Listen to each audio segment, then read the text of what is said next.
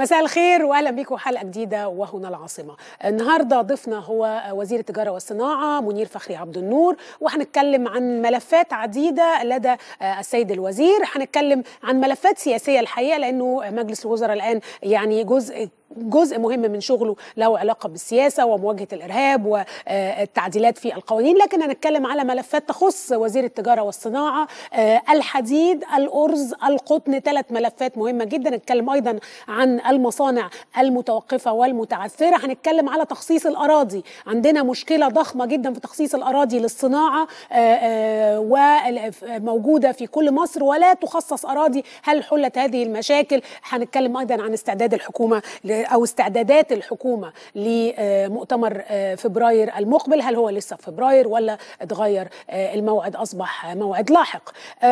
والنهاردة لكن النهارده عندنا أخبار كتيرة جدا قبل ما نستقبل السيد الوزير. وخلينا نبدأ اولا باحداث سيناء ويعني متابعة لما يحدث في سيناء وأيضا متابعة لما يحدث داخل مجلس الوزراء. النهارده كان في اجتماع مهم للسيد رئيس الوزراء مع المحافظين. المجتمع الاجتماع ده كان له شق له علاقة بالعمل الدوري للمحافظين. والشق الآخر ربما كان له علاقة بمحافظة شمال سيناء وتحريك المواطنين وما سيحدث من هذا الأمر. معي على الهاتف السيد سفير حسام قويش المتحدث باسم مجلس الوزراء. سيد سفير مساء الخير.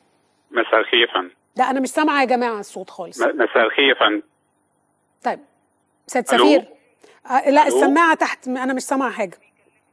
لا مفيش صوت. طيب آه آه واضح إن في مشكلة عندنا هنا في السماعات آه تحت فأرجو إنه حد يجي يظبطها لنا.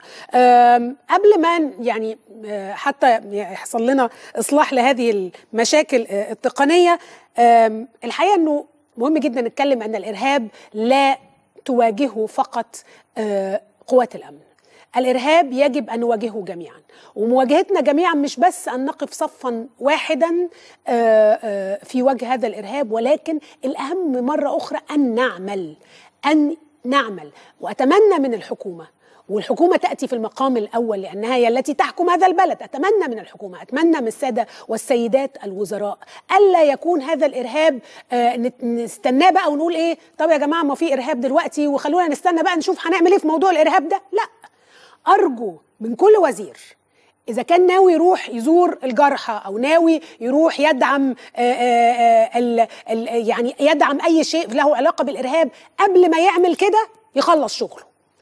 إحنا محتاجين حكومة تعمل محتاجين إنجازات محتاجين أن نواجه ما هو على الأرض من إرهاب ليس فقط بمواجهة أمنية من الشرطة والجيش ولكن بمواجهة عملية، المواجهة العملية دي أن يكون هناك إنجازات، أن أنا أشوف شارع نظيف، أن أنا أحس إن المدرسة آمنة، إنه يكون في علاج يعني صحة شكلها محترم، إن يبقى في إنجاز على الأرض، إن يبقى في مشروعات تجتذب الشباب، أن نعمل. إحنا محتاجين البلد تتحول لخلية نحل. محتاجين كلنا نشتغل وناس كتير بتقابلنا تقول لنا طب إحنا كمواطنين نعمل إيه؟ إحنا كمواطنين نشتغل. إحنا كمواطنين نشتغل قد اللي بنشتغله ده ده عشر مرات. مجهود لازم نبذل مجهود خرافي. البلد دي محتاجة مجهود خرافي من الحكومة من الأمن من المواطنين. ده مجهود كلنا محتاجين نبذله من أجل مواجهة الإرهاب. الإرهاب مش بس مواجهة ببندقية الإرهاب مواجهة بعمل. الإرهاب هينجح إذا وجد فراغ. الفراغ ده هو يأس هو إحباط هو فقر هو بطالة. إحنا محتاجين نملى هذا الفراغ بعمل بفرص عمل بمستقبل بحياة أفضل بحياة آدمية للمواطنين. هي دي مواجهة الإرهاب الحقيقية اللي أتمنى أن كل محافظ كل وزير كل رئيس مجلس محلي كل واحد في موقعه ما يقولش طيب دلوقتي الإعلام الحقيقة ينشغل بقضايا الإرهاب. لأ. إحنا هننشغل بيكم وهننشغل بقضايا الناس وهنفضل نتابع عمل الوزراء وهنفضل نتابع عمل المحليات كي نصل إلى نتيجة وكي تتقدم هذا البلد ولن نتركها ده دورنا وهنفضل نعمله في إرهاب. مفيش إرهاب ده دورنا وهنفضل نواجهه. السفير حسام قويش أتمنى إن الصوت يكون رجع. مساء الخير يا فندم. مساء النور يا سيد سفير أهلا بيك. آه سيد سفير يعني لو تقول لي ما مجريات ما مدار النهارده في مجلس الوزراء آه في اجتماع المحافظين؟ يعني في بداية الاجتماع أكد السيد رئيس مجلس الوزراء على السادة المحافظين بضرورة التواصل مع المواطنين بشكل مباشر ومستمر للوقوف على المشاكل اللي بتواجه المواطنين في تلك المحافظات وأهمية وضع حلول سريعة وعاجلة من أجل تخفيف الأعباء عن المواطنين وإن السيد رئيس الوزراء بنفسه حينما يقوم بالزيارات الميدانية يهدف إلى الوقوف على تلك الاحتياجات والمطالب وإن هذا دور أساسي ومهم للسادة المحافظين في محافظتهم. تم عرض لمشروع القومي لتنمية وتطوير القرى المصرية والتي تتضمن هناك خمس قرى من كل محافظة مقترحة كالقرى الأكثر احتياجا. هناك خطة لتنمية تلك القرى من الناحية الاجتماعية والاقتصادية والعمرانية وتم عرض تلك الخطة و النظر في توفير الاعتمادات اللازمة ليها. الخطة بتكون شاملة لتحسين البنية الأساسية في تلك القرى سواء كانت مياه شرب أو صرف صحي أو كهرباء أو غيرها طيب خلينا فيما فيما يخص المحافظات محافظات محافظة شمال سيناء وتحريك الناس أو تحريك بعض المواطنين من المنطقة الحدودية ماذا لدينا في ذلك؟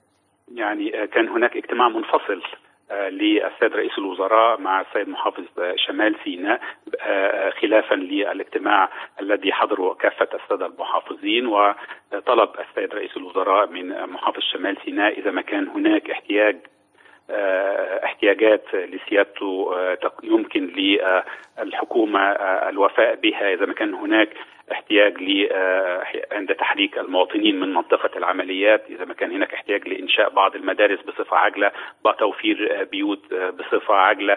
الناحية الصحية الناحية التموينية الناحية الخدمية بشكل عام. وعرض السيد محافظ شمال سيناء ان هناك في بعض الاحتياجات والتي وجه السيد رئيس الوزراء بأنها ستكون متوفرة فورا.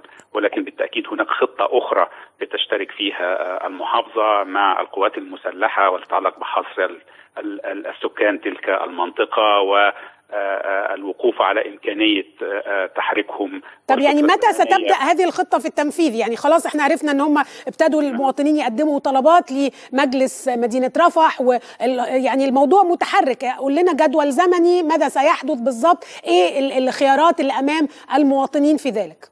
يعني بالفعل هناك حصر تم للمواطنين وهناك تواصل معهم لأن طبيعة حل المشكلة لكل عائلة أو أسرة ستكون مختلفة، البعض سيحصل على تعويض لنقله من تلك المنطقة سواء كان يتمثل في بدل إيجار لفتره معينة سواء كان يتمثل في إيجاد قطع إذا كانت قطعة أرض زراعية إيجاد بديل لمنطقة أخرى ولكن ستبدأ فورا على الفور التنفيذ لأن الحصر كامل وشامل وموجود بالفعل.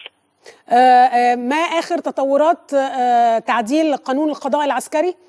لا قانون القضاء العسكري يعني قد اكتملت خطوات إصداره ومن المقرر إنه خلال يوم أو يومين يكون صادرا في الجريدة الرسمية وفاعلا ومطبقا ولكن أؤكد أيضا إن المنطقة التي خضعت للطوارئ طبقا لقرار رئيس الجمهورية مطبق فيها بالفعل أحكام القضاء العسكري طبقا للدستور بأن المنطقة اللي بيعلن فيها حاله طوارئ بتصبح خاضعة لأحكام القضاء العسكري دون احتياج لتعديلات ولكن التعديل القانون العسكري بما يسمح بمواجهة الأعمال الإرهابية و الاعمال التخريبية ضد المنشآت في باقي أجزاء الجمهورية. آه يعني ما فهمناه بالأمس وارجو أرجو أن يكون دقيقا هو انه هذا التعديل يقضي بولاية القضاء العسكري على كل قضايا الإرهاب في كافة أنحاء الجمهورية.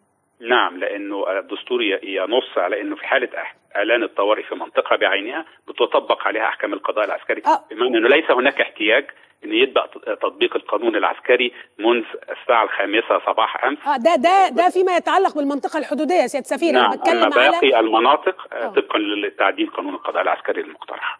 لكن لكن أنا بتكلم على ولاية القضاء العسكري في آه، قانون الإرهاب في با في باقي الجمهورية أو في قضايا نعم. الإرهاب آه، وجرائم الإرهاب في باقي الجمهورية وده اللي بسأل عليه نعم هو ده بالضبط كما ذكرت حضرتك إن مشروع تعديل قانون القضاء العسكري حتى تكون اختصاصاته بقضايا الإرهاب التي تهدد سلامة وأمن البلاد كل المناطق والتي تتعلق بالإعتداء على أي منشآت وأفراد قوات مسلحة أو شرطة هل أو عند في أي مكان طيب هل عند حضرتك معلومات إن كان هذا يمكن أن يطبق قانونا يطبق بأثر رجعي ولا لأ؟ يعني قضايا موجودة بالفعل في المحاكم ممكن تنتقل الآن للقضاء العسكري بعد إصدار القانون ولا ربما حضرتك ما عندكش المعلومة دي؟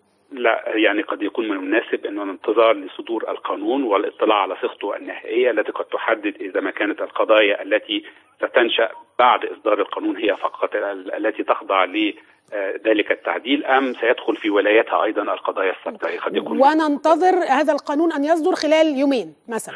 يعني في العاجل طبعا لأنه في هناك احتياج سريع للتعامل مع قضايا الإرهاب والعمليات الإرهابية التي حدثت وبناء عليه كان هناك حرص من جانب السيد رئيس الوزراء على أن يتم إصدار القانون بأسرع فرصة. بشكرك آه، سيد سفير حسام القويش متحدث باسم مجلس آه، الوزراء. اذا يعني آه، بي- بيحث السيد رئيس الوزراء بيحث المحافظين وأتمنى إنه يعني يكون شد عليهم شوية بصراحة. يعني مش مجرد إن هو بيقول لهم يا ريت النبي تخلوا بالكم من الناس لأنه الحقيقة إنه أعتقد إنه اتكلم معاهم على النظافة واتكلم معاهم على احتياجات الناس واتكلم معاهم على أشياء كثيرة جدا. إحنا كنا في انتظار الحقيقة تع- تعديل وتغيير للمحافظين منذ فترة طويلة وده ما حصلش. نتمنى بقى إن المحافظين الموجودين يشتغلوا شوية ببعض الهمة وبعض العمل المكثف. عايزين نشوف المحليات تشتغل بشكل أفضل لأن الحقيقة ربما يكون أحد أهم مشاكل هذا البلد هو المحليات التعامل مع الناس أو عدم التعامل الحقيقة مع الناس وأحوال الناس الواقفة تماما. أما بالنسبة لي نعود مرة أخرى إلى سينا ومعانا حاتم البولك مدير مكتب الوكالة الالمانيه في شمال سينا. آه، أستاذ حاتم الوضع على الأرض إيه؟ حظر التجوال حياة الناس العمليات العسكرية. أهلا أستاذ لمي أهلا بيك اتفضل. آه، في الحقيقة ال- الوضع في سيناء مستقر الآن تماما بعد دخول حيز منع التجوال منذ الساعة الخامسة مساء اليوم وحتى الساعة السابعة صباحا. هذا اليوم يدخل اليوم الثاني على التوالي. آه، الناس آه، في هدوء تام آه، في المنطقة الهدوء يسيطر الناس ملتزمة بتطبيق الحظر لا يوجد أي اختراق للحظر. هذا بالإضافة إلى انتشار لقوات الجيش والشرطة على الطرق السريعة وفي ميادين العريش.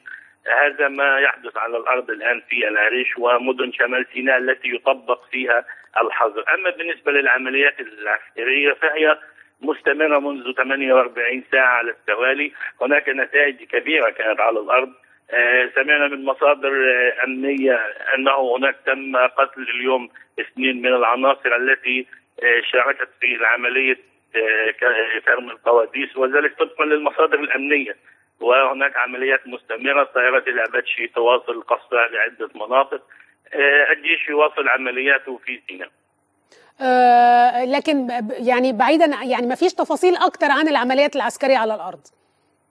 العمليات العسكرية مستمرة حتى الآن ونتائجها تخرج أول بأول ولكن هي لم تنتهي بعد وغالبا ما غالبا ما تخرج بيانات من من المصادر العسكرية والمصادر الأمنية. حتى الآن البيانات التي تخرج قليلة ولكن هم يقولون أن العمليات مستمرة على قرى شرق آه، شرق سيناء.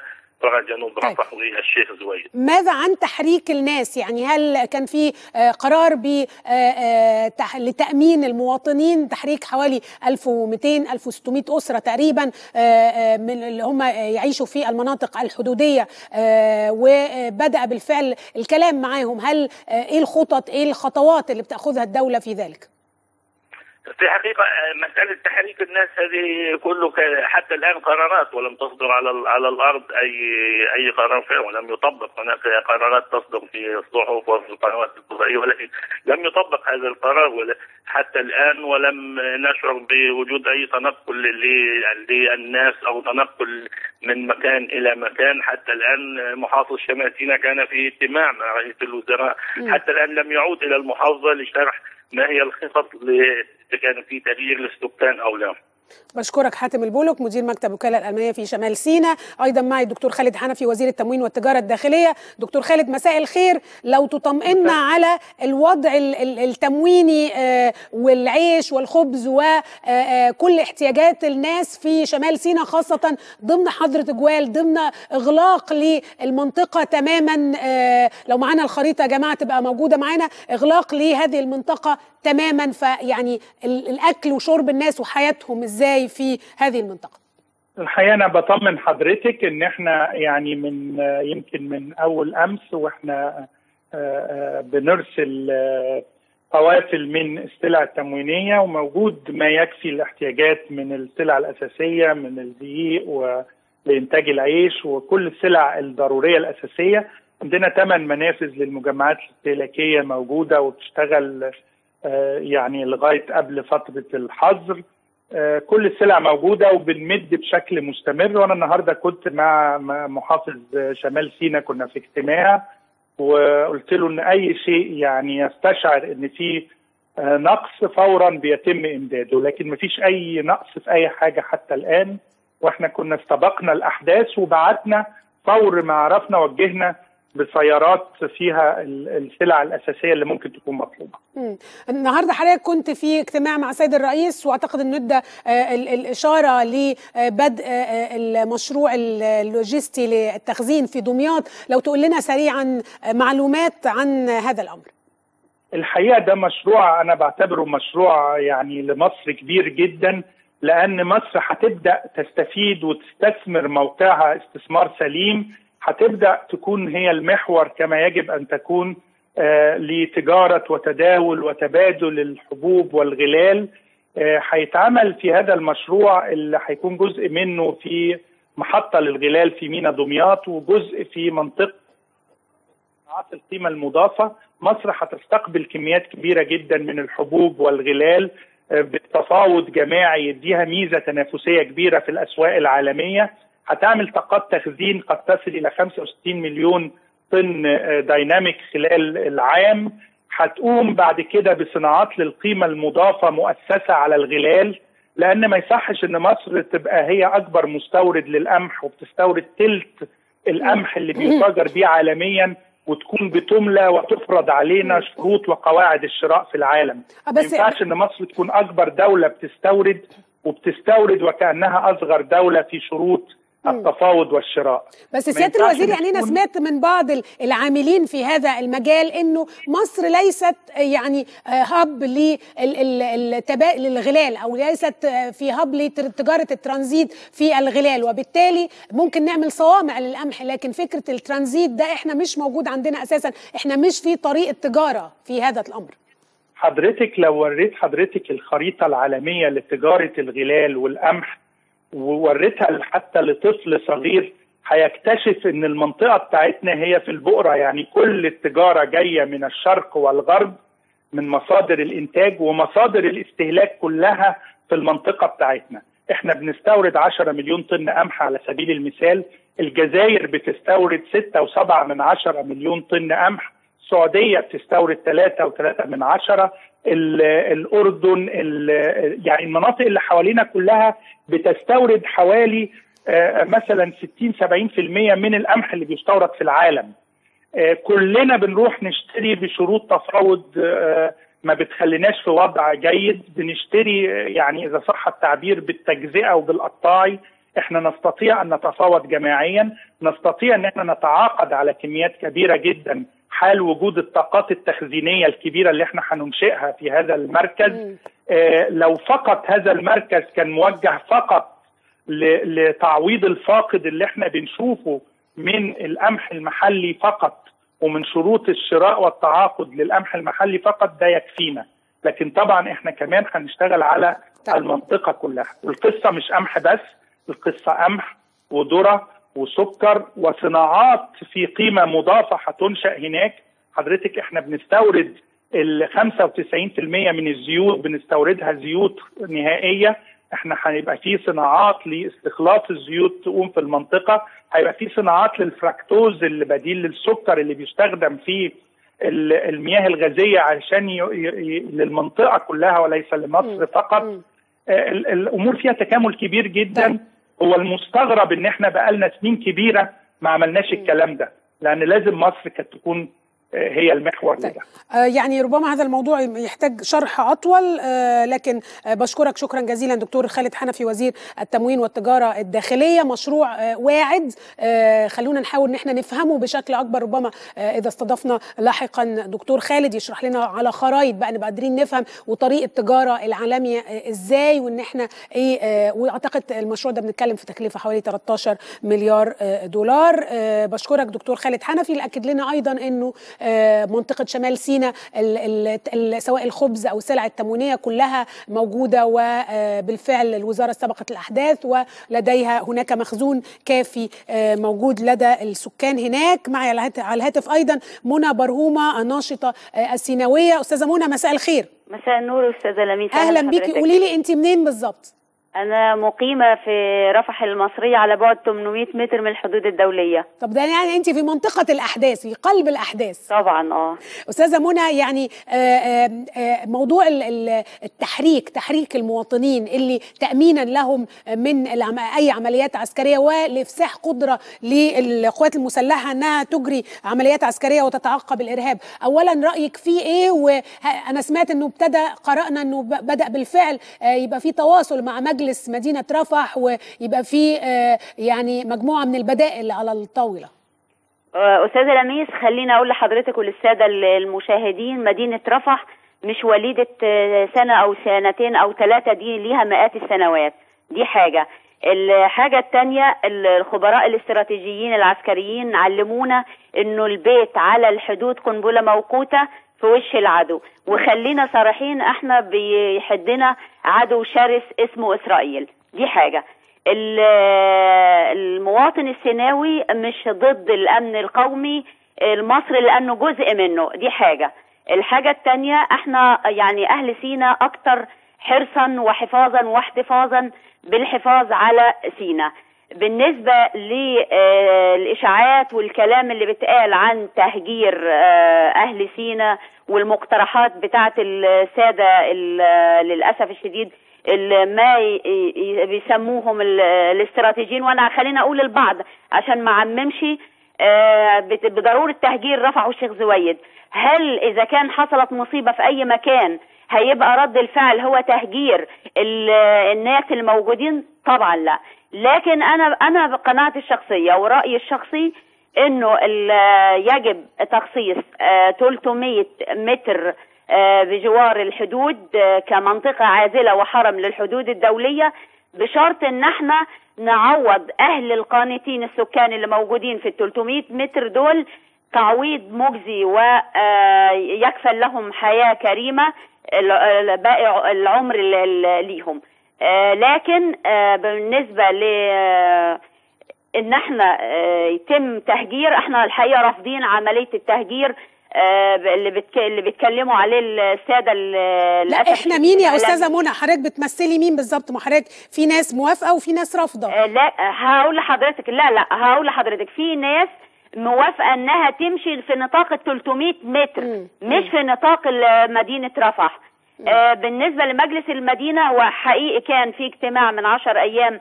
آه، مع آه، أهالي مدينة رفح وخاصة الموجودين داخل الكيلو الملاصقة للحدود الدولية مع اللواء حرحور محافظة آه، محافظ شمال سيناء وهو قال بالنص.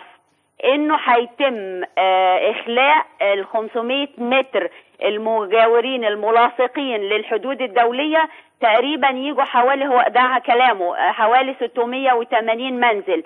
وقال إنه على الناس آه، اللي موجوده على الحدود التوجه فعلا لمجلس المدينة لعمل استبيان أو استقراء هم عاوزين إيه؟ عايزين الحلول إيه؟ عايزين قطعة أرض كويس. أو ده في تف- في يعني في بدائل يعني. بس ل ل 608 و- لحوالي 700 بيت لسه لم يتم هدمهم. نعم. لكن في حوالي 120 بيت تم هدمهم دول. يعني الحقيقة أهلهم ما يعرفوش. هيتعوضوا مش هيتعوضوا مش عارفين. ال- ال- الجو العام إحنا بصي يا أستاذة لميس للحقيقة التوضيح لحضرتك وللجماهير اللي قاعدة بتشوف برنامج حضرتك آه، سينا من 30 6 2013 لحتى الآن 15 شهر متواصلة وإحنا الحقيقة عايشين حالة حرب بمعنى الكلمة. ده حقيقي. آه، لكن حضرتك معايا؟ اتفضلي يا فندم بس باختصار لو يعني سمحتي إحنا بنقول إن إحنا قدرنا إن إحنا يعني من سكان الحدود وإن إحنا جنبنا عدو شرس. و ون- يعني يعني الحقيقة إحنا يعني تعبنا. يعني لدرجة انه يعني أنا واحدة من الناس بستشعر ان أنا يعني اموات على قيد الحياة نعم. من الحرب الشديدة اللي إحنا عايشينها. نتمنى الحقيقة التحرير سينا من الإرهاب تحرير سينا من الفكر العقيم تحرير سينا من من ال- الإقصاء تحرير سينا من التهميش تح- تحرير سينا من عدم التنمية. آه، الساده المسؤولين الموجودين في القاهرة ينظروا لسينا على أنها بشر وحجر وشجر ما صحيح. ينظروش لسينا على أنها موقع على الخريطة و- واعتبارها ملف امني نعم. فقط لأن التجربة الأمنية خلال ال 30 سنة يا أستاذة لميس اللي اللي, فا اللي فاتت أثبتت فعلا فشلها. شكرا يد- جزيلا أستاذة منى برهومة الناشطة السيناويه وده رأي من جوه قلب أهل سينا. في ناس آه، قلقانة تسيب بيوتها آه، آه، أعتقد ده محتاج حوار واضح وحوار شفاف جدا بين المحافظ لواء حرحور وبين أهل سينا. أهل المنطقة اللي هيتم تحريكها ولازم يفهموهم ليه وإزاي والتعويض عامل إزاي والبيوت اللي اتهدمت تعويضها إيه. لازم يكون الكلام واضح. الناس محتاجة تفهم. الناس محتاج مستعدة للتعاون وهم الحقيقة تحت قصف النار بقالهم فعلا زي ما قالت منى مدة طويلة وعايشين بصعوبة شديدة جدا. وبالتالي الناس محتاجة تفهم. محتاجة في شفافية. محتاجة تعرف هيحصل إيه التعويض إيه. طب لما هننتقل هيحصل إيه بالظبط؟ طب هل هتديني بدائل أرض ولا هتديني بيت ولا هتسكنني فين؟ طب هنعمل إيه في المدارس؟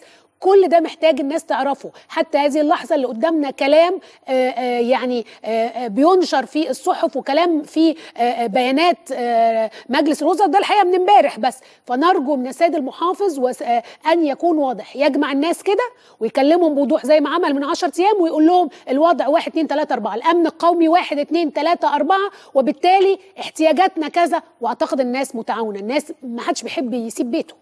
يعني لا في السويس بيحبوا كانوا بيحبوا يسيبوا بيتهم ولا في بورسعيد حبوا يسيبوا بيتهم لكن مقتضيات الأمن القومي قد تقضي بأمور يعني نكرهها. ولكن الناس ممكن تكون متعاونة إذا فهمت وإذا عوضت وإذا لقت حياة آه، مستقرة. كل اللي عايزينه هم حياة مستقرة فيها تنمية. لازم فعلا والحقيقة جملة مهمة جدا قالتها منى أن ينظر من في القاهرة إلى سيناء كبشر وأرض وحجر وليس فقط حجر وليس فقط إرهاب. ده في بشر عايشين في مصريين عايشين هناك. لازم نخلي بالنا منهم. آه، المصريين دول بعضهم بعضهم بيشتغل في الأنفاق بعضهم آه، ممكن يكون خارج عن القانون لكن أغلبهم ينتمون لهذا الأرض وينت... لهذه الأرض وينتمون لهذا الوطن وعلينا واجب علينا أن نراعيهم. خلونا نعرف برضو المدارس أخبارها إيه الأستاذ هاني كمال متحدث باسم وزارة التربية والتعليم أستاذ هاني المدارس أخبارها إيه في منطقة الطوارئ في شمال سيناء؟ الحمد لله بداية اسمحي لي نجدد التعازي في شهداء الواجب وعزائنا الوحيد إن هم يعني شهداء في الجنة إن شاء الله وربنا يصبر أهلهم ويصبرنا جميعا ويقدرنا على مواجهة الإرهاب بكل أشكاله. ويعني كما قال سيادة الرئيس يعني تحيا مصر ودايما آه، مصر أقوى من كل هذه الظواهر وهذه ال- الأمور الكارثية طيب. الإرهابية. ربنا يقدرنا عليهم جميعا إن شاء الله. المدارس بقى يا فندم. مدارس آه، بخير الحمد لله. سبحان الله في في صورة آه، طيبة جدا جدا ضربوا بها المثل والنموذج النهارده. في ال- في العريش وفي المناطق اللي كنا خايفين تبقى ما فيهاش مم. نسبة حضور آه لأن النهارده كان آه، إيه النهارده كان أول يوم أعتقد آه، دراسة ولا امبارح بعد لا. النهارده يا فندم. النهارده الاحد النهارده الأحد.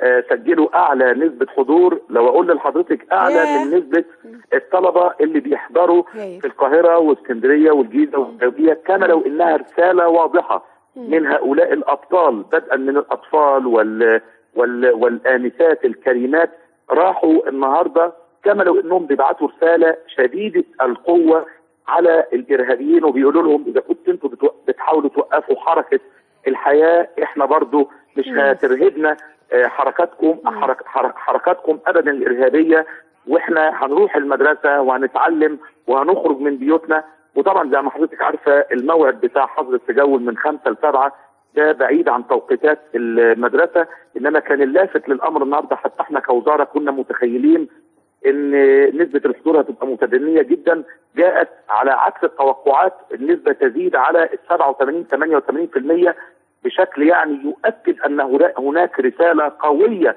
اراد إن هم يبعثوها أطفال وآنسات وأولياء أمور. فكل الشكر لأهل سينا الكرام اللي بيبعتوا رسالة أشد قوة من الرسالة اللي الارهابيين بيحاولوا إن هم والأهم إن الأطفال كمان عندها حالة من ال... يعني طبعا الأهالي هم اللي بيدوا الأطفال هذه القوة لكن الحقيقة إنه كمان ش... الأطفال بنموذج لشجاعة مبهرة. لكن هل في مثلا مدارس معينة أغلقتموها ولا كل المدارس في هذه المنطقة بتعمل؟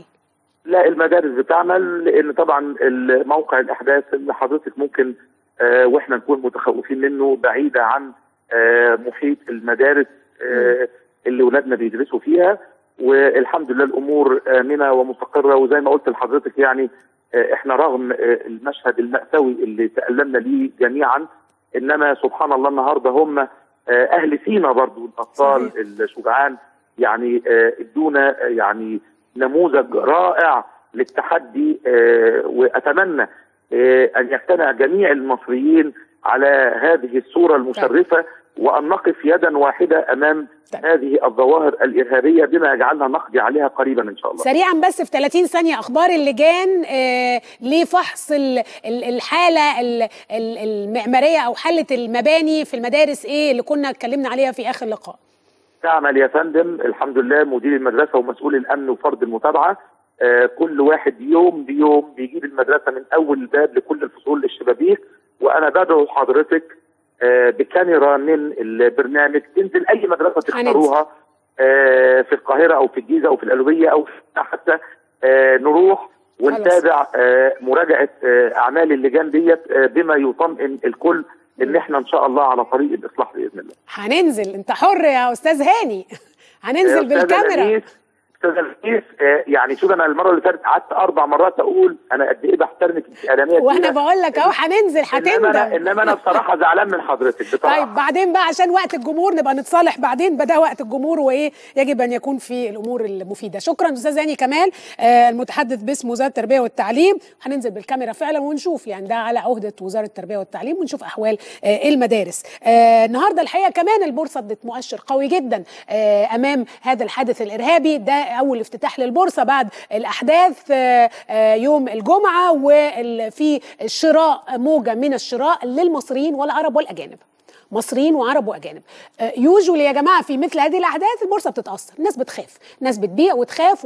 وتكش لأنك بتقول لك دي بلد غير آمنة دي بلد غير مستقرة مثلا لكن الحقيقة إن في رسالة التحدي اللي قدمها المصريين رسالة التحدي اللي كلنا لازم نزرعها جوانا ويعني. وإن إحنا نقف صامدين الرسالة دي موجودة في مجموعة من المؤشرات آه الناس عايشة حياتها عادية جدا آه كمان عندنا المدارس زي ما قال لنا الأستاذ هاني مدارس كامل العدد في شمال سيناء وده الحقيقة شيء يعني حقيقي مبشر جدا وقوي جدا بحيي كل أهل شمال سيناء بالذات المنطقة اللي معمول فيها الحظر والناس على استجابتها والتزامها بحظر التجوال. و النهارده مؤشر البورصه شراء موجة من الشراء والارتفاع يعني تسبب فيها شراء للمصريين والعرب والأجانب مؤشر مهم جدا. النهارده السيد وزير الدفاع زار بعض الجرحى في مستشفى المعادي المصابين من الحادث الأليم يوم الجمعة الماضي يعني كانت رسالته ليهم ورسالتهم ليه هو الإصرار والعزيمة على الثأر والقصاص وبعضهم قال إحنا مش هنرجع مش هنخرج من هنا نخرج من هنا نرجع تاني. الميدان حتى نثأر لأصدقائنا وزملائنا وإخواتنا للأسف العدد أعتقد الضحايا. في تزايد النهارده لقينا جثة أو القوات لقت جثة أخرى في موقع الحادث ولقت أيضا جندي آخر على قيد الحياة وده برضو المصادر بتصدره أتمنى أن تصدر بيانات رسمية واضحة وشفافة. والحقيقة أن ده كان عهدنا دايما بالقوات المسلحة المتحدث العسكري دايما كان بيصدر علينا يعني بيخرج علينا ببيانات واضحة. مش عايزين يا جماعة كل الأخبار تنسب لمصادر أو لمراسلين. إحنا عايزين أنباء تصدر من موقعها من مركزها من أصحابها من المسؤولين. عايزين الدنيا تبقى فيها قدر عالي من الشفافية قدر عالي من المصداقية. نبقى عارفين إيه اللي بيحصل على الأرض. الناس كلها متشوقة لمعلومات لما يحدث آه، آه، في على أرض سينا وما نقدرش نسمع من آه، صديق زميل مراسل هنا أو زميل مراسل هناك هم بيقولوا أنباء لكن في النهاية نحن لا نصدق إلا البيانات الرسمية والبيانات العسكرية. نرجو أن تصدر علينا بيانات يومية وأتمنى أن يبقى فيه زي آه، يعني آه، آه، مركز إعلامي مركز إعلام حرب. مركز إعلام حرب ده يخرج ببيانات يخرج بصور ما يمكن أن يخرج منه يعني. طبعا مش هنكشف التفاصيل والخطط والكلام ده كله لكن لما يبقى في عملية نقول إن حصل كذا في طلعات جوية كذا في كذا. بس يبقى عندنا معلومات. إحنا كمان ما عندناش معلومات. آه، آه، هناك نقص شديد جدا في المعلومات. وأنا الحقيقة مش عارفة ليه صفحة المتحدث العسكري لم يعد عليها آه، معلومات كما كان الأمر في السابق. أرجو إن ده يتم تداركه في الأيام القادمة. هذه بعض ال- التصريحات آه، من آه، بعض ال- ال- الأبطال من الجرحى آه، اللي أصيبوا في الحادث نقلا عن التلفزيون المصري. لا للأسف هم ما بيواجهوش وش لوش هم دايما كل ضربهم من بعيد يعني. هم دايما لازم يستخبوا ورا حاجة. أهالي الشهداء إن شاء الله يعني إحنا عاوزين نقسم لهم إن إحنا مش هنسيب حق إخواتنا ودول ولادي قبل ما يكونوا أي حاجة ولازم هنرجع من هنا على هناك على طول إن شاء الله نجيب حقهم وطارهم لا بإذن الله أرجع كمان تاني بإذن الله. الله هرجع ومش هرجع بيتنا إن شاء الله إلا لما نجيب حق الناس اللي هناك دي بإذن الله. ناخد حق زمايلنا ناخد حقنا. والله ربنا يصبرهم و ما شاء الله عيالهم شهداء ما شاء الله الحمد لله. أهم شيء عندي نجيب حق زمايلي أنا بإذن الله راجع بإذن الله يا رب. بس رنجهم بالسلامة بإذن الله. دي بإذن الله أي حد فينا هنا اللي مصاب بإذن الله هيرجع شمال سنه تاني. أهالي الشهداء هم عارفين عيالهم فين وهم عارفين الرجالة دي ماتوا إزاي ماتوا هم بيدافعوا ما سابوش كمينهم وجريوا دافعوا لحد آخر لحظة. بس إحنا إن شاء الله بإذن الله زي ما بنجيب حق على طول وزي ما إحنا قبل ما يعملوا الموضوع دوت إحنا كنا موتين 18 واحد فيهم إن شاء الله بإذن الله هقوم بالسلامة غير الرجالة اللي هناك وهنخلص عليهم كلهم إن شاء الله وننهي موضوع الإرهاب ده خالص.